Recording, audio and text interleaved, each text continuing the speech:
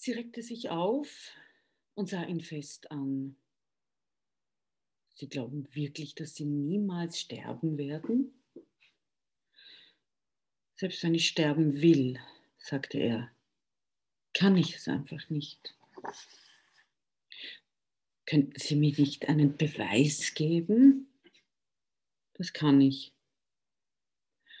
Er ging an das Waschbecken und als er wiederkam, hielt er sein Rasiermesser in der Hand. Haben Sie keine Angst, sagte er. Bevor sie eine Bewegung machen konnte, stürzte ein Strom von Blut aus Foskas Kehle hervor. Foska! schrie sie auf. Er hatte geschwankt, jetzt lag er auf dem Bett mit geschlossenen Augen, wie ein Toter so bleich, und das Blut rann ihm aus der offenen Wunde am Hals. Sie rief ihn, Foska, Foska! Er schlug die Augen halb auf. Dann atmete er tief ein haben Sie keine Angst. Das ist doch nicht möglich. Sie verbarg ihr Gesicht in den Händen und fing zu weinen an. Regine, rief er, glauben Sie mir jetzt? Ich glaube Ihnen.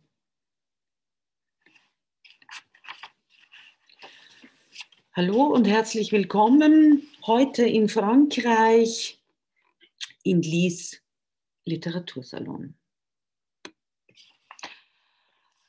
Das Buch, aus dem wir diesen Dialog jetzt gehört haben, das Buch ist von Simone de Beauvoir.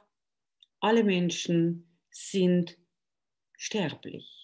Alle Menschen sind sterblich, nur unser Fosca ist unsterblich. Simone de Beauvoir, eine Feministin, Philosophin, Autorin, Lebensgefährtin auf Augenhöhe. Wunderbarerweise, man spricht von Sartre und denkt Simone de Beauvoir automatisch mit. Ein wunderbares Paar, könnte man sagen. Ich denke, den Klassiker, dem Klassiker, das andere Geschlecht, hat nicht nur die Frauenbewegung oder die Frauen sehr viel zu verdanken. Ich glaube, dieses wunderbare Buch ähm, ist für Männer und Frauen gleichermaßen ein Meilenstein.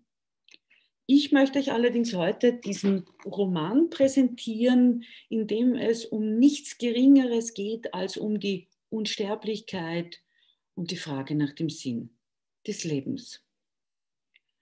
Dieser Roman ist unmittelbar nach dem Krieg 1946 erschienen. Also das ähm, wirft Nona direkt nach dem Krieg existenzielle Fragen auf. Worum geht's? Regine, eine 28, Regine oder Regine, französisch, ich spreche es wahrscheinlich nicht richtig aus, ähm, 28-jährige exaltierte Schauspielerin trifft auf den Fakir, so wie sie ihn nennt, Fakir, denn sie beobachtet, dass er nicht isst und offensichtlich auch nicht viel schläft. Sein wahrer Name ist Raymond Fosca. Die beiden verlieben sich ineinander und wir Leser folgen unserem Fosca zurück ins 13. Jahrhundert, nach Italien, nach Carmona, wo er 1279 geboren wird und allalong zum Stadtregenten aufsteigt.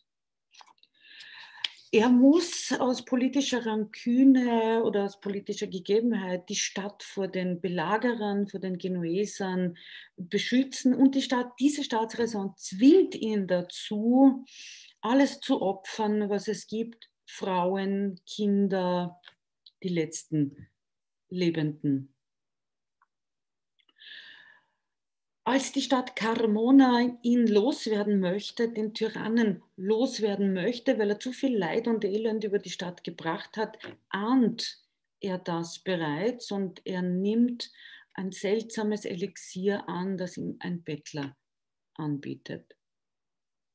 Als also wirklich ein Attentat auf ihn unternommen wird, überlebt er er stirbt nicht, das Schicksal nimmt seinen Lauf und wir gehen mit unserem Helden Fosca durch den Lauf der Zeiten, durch Ozeane an Zeit.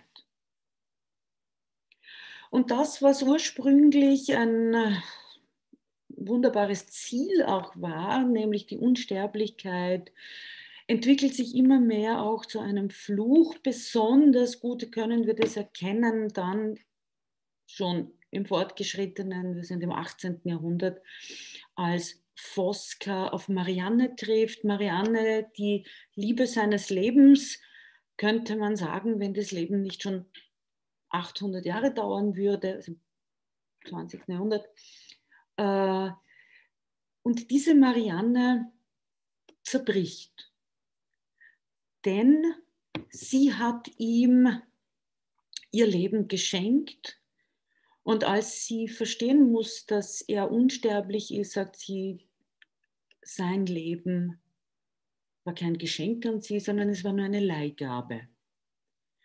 Daran wird sie zerbrechen, sie stirbt und wir sehen in unserem Helden seine unglaubliche Einsamkeit, denn als er auch sterben möchte, jetzt wirklich schon lebensgesättigt nach 300, 400 Jahren, kann er es nicht und die Unsterblichkeit wird tatsächlich zum Fluch.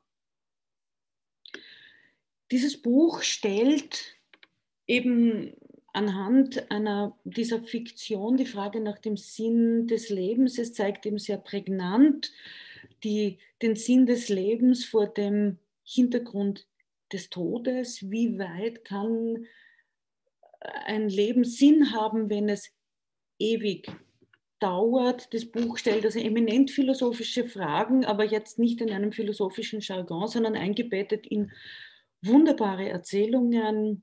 Es ist auch ein höchst politisches Buch, denn äh, wir bewegen uns immer wieder auch in den gesellschaftlichen Schichten der politischen Führungskräfte.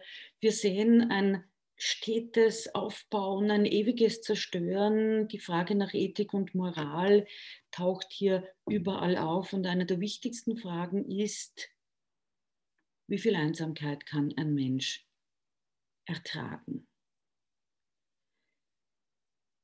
Eine weitere Frage natürlich, wie weit ist Selbstverwirklichung möglich ohne die Begrenzung des Todes.